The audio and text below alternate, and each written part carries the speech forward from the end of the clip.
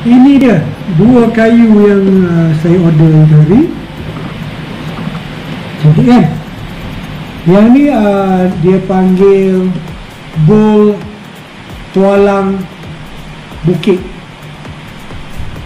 Kali tu kata seller lah tukang. Assalamualaikum. Semalam dapat first time dapat uh, parcel daripada Skynet. Berat betul. Kat sini dia tulis uh, 6 kilo. Bayangkan first time saya dapat parcel daripada Skynet dan dia berat 6 kilo. Berat betul ni sampai ke orang yang hantar tu cakap ini mesti kayu ni bang. Pandai kan orang yang tukar hantar dia tahu dah benda ni kayu. Um, benda ni uh, first time saya beli daripada jengkel faham first time lah saya pun tak pernah beli uh, benda yang dalam uh, parcel ni. So kita akan buka kita tengok apa benda ada dalam ni. So memang berat betul. 6 kilo kau. Oh beratnya. Ok kita akan buat unboxing lah. Kita tengok apa dekat dalam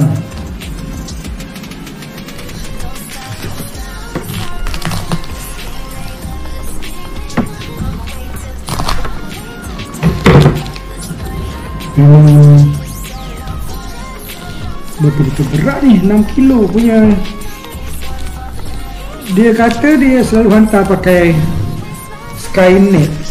Mungkin untuk barang-barang yang berat macam ni Sky, bayaran untuk Skynet tak berapa mahal kot. Sebab tu dia pakai Skynet.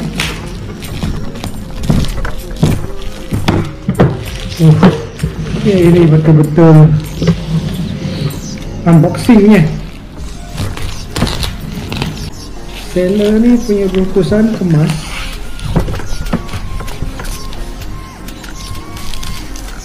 dan tebal.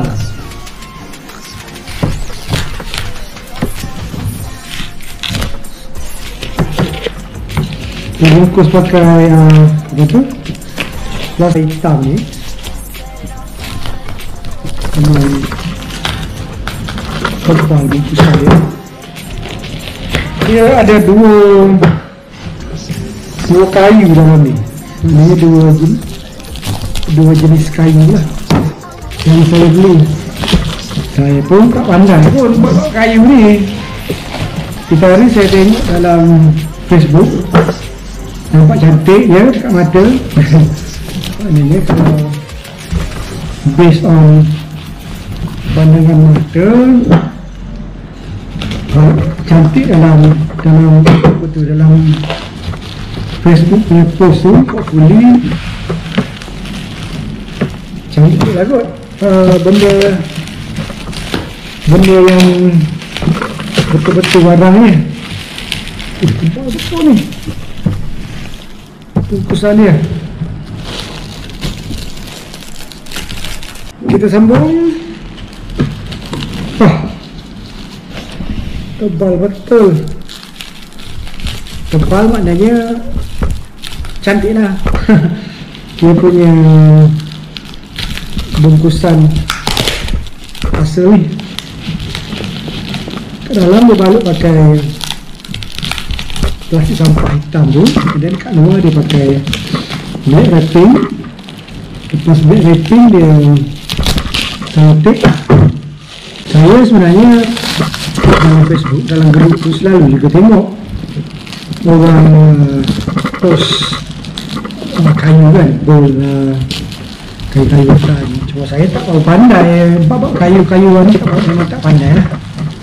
Sebab kalau bukan saya kalau macam orang orang akan suka ada orang dia akan start main pisau. Pisau tradisional. Pisau tradisional ni ataupun parang pisau tradisional ni kalau parang pisau tradisional maknanya dia orang akan lebih kepada benda-benda kayu ni lah sebab hulu dengan uh, apa tu hulu, dengan sarung kan macam saya pula saya tak berapa suka uh, parang-parang tradisional ni. Ok dah boleh nampak dah sikit. Dia punya dia punya apa benda kat dalam tu kayu tu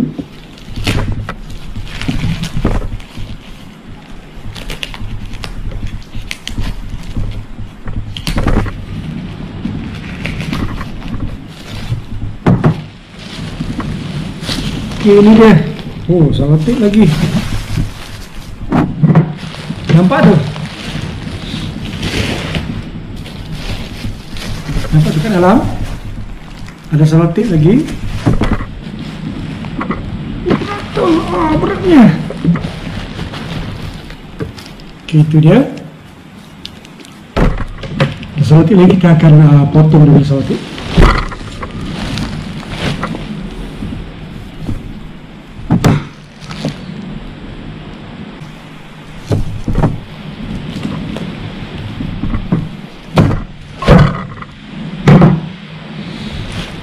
itu dia.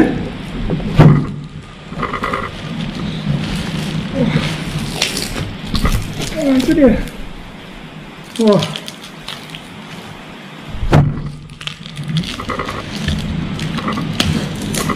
Oh, getah sotik, getah sotik tu nanti nak kena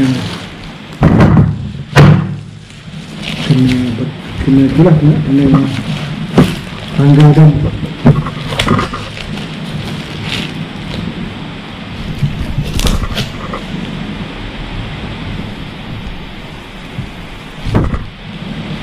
Ini dia. Ini dia. Um, dua bongkah kayu yang saya beli tu hari. Yang ni kalau ikut uh, kan seller daripada jengka, dia panggil bol tualang bukit. Itulah dia, dia, dia cakap macam tu saya pun percayalah saya pun memang buta kayu kalau bab kayu-kayuan ni tapi saya tengok dalam bila dia post uh, dalam Facebook dalam grup memang nampak cantik. So saya fikir hmm lawa ni. Dia punya corak corak-corak kayu tu memang lawa lah. Walaupun saya ni buta kayu tapi apa yang saya tengok kalau nampak cantik so kalau cantik dalam post Facebook tu maknanya cantik lah bagi saya Oh ini cantik, ini cantik. Uh, bowl tualang bukit. Satu lagi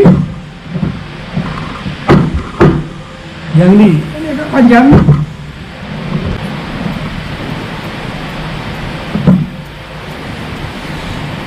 Yang ni kayu rengas.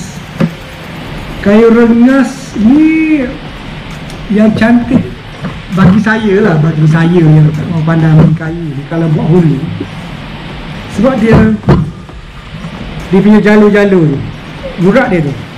Jalur urat dia ni dengan color dia reddish brown. Memang cantik lah bagi pandangan saya. Kalau orang lain saya tak tahulah. Dia reddish brown. Reddish brown dengan jalur-jalur kayu dia tu Uh, mungkin juga kalau saya buat review dekat sini tak berapa cantik kot sebab meja yang saya buat ni dengan kayu ni dia seakan-akan sama color mungkin dia tak kontras dia lagi saya akan cuba ambil video tempat yang uh, kontras color ok yang ni sekali lagi rengas. Ini dia bowl tualang bukit Nampak dia punya corak-corak tu? Memang cantik. Oh ini Tadi salotip Bekas salotip yang dia Post tadi kan? Yang ni nanti saya akan Hilangkan lah sebelum hantar kepada tukang untuk buat hulu. Ok ini dia. Corak-corak dia tu memang cantik. Bol tualang bukit. Lawa. Memang lawa bol tualang bukit. Harga dia Saya beli dari RM80 campur postage RM10 so dia jadi RM90 ukuran dia panjang dia panjang dia 12 inci setengah lebar 6 inci dan tebal 1.4 1.5 1 inci setengah. Memang lawa. Selama ni saya duk tengok dalam grup memang nampak lawa lah. Tapi nak beli pun tak pandai uh, tak pandai apa tak pandai. Nak buat apa? Jadi itu hari saya tengok oh, kalau buat hulu ni cantik juga. Adalah hulu secret project. Ini dia bul tualang bukit. Cantik kan? Dia punya corak-corak tu. Okay, kalau tadi tualang bukit yang ni uh, kayu rengas. Kayu rengas. Cantik sebab dia macam coklat. Dia coklat ada jalur-jalur-jalur jalur jalur. Dia agak kasar. Dia color coklat tapi reddish kemerah-merahan memang lawa. Kayu rengas ni ukuran dia 20 inci panjang dia 20 inci panjang lebar 4 inci dan tebal dia pun dalam 2 inci macam tu. Lebih kurang 2 inci 2 inci tebal 4 inci lebar. So ha, macam tu lah basically coklat kemerah-merahan. Tak tahu kalau dalam kamera uh, mungkin warna ni berbeza kot sebab kontras daripada cahaya yang masa saya tengah ambil video ni. Lawa. Ni kalau buat hulu dekat ahem kalau Mak Saleh tengok memang menangis lah Mak Saleh. Ok itu dia dua uh, kayu yang saya dapat ini hari daripada jengka um, bila benda dah siap nanti kita akan update lah. Macam mana bentuk hulu yang dibuat daripada kayu ni. Tapi saya confirm memang cantik. Kalau masuk dekat hem-hem. Awak ha sebelum tu ada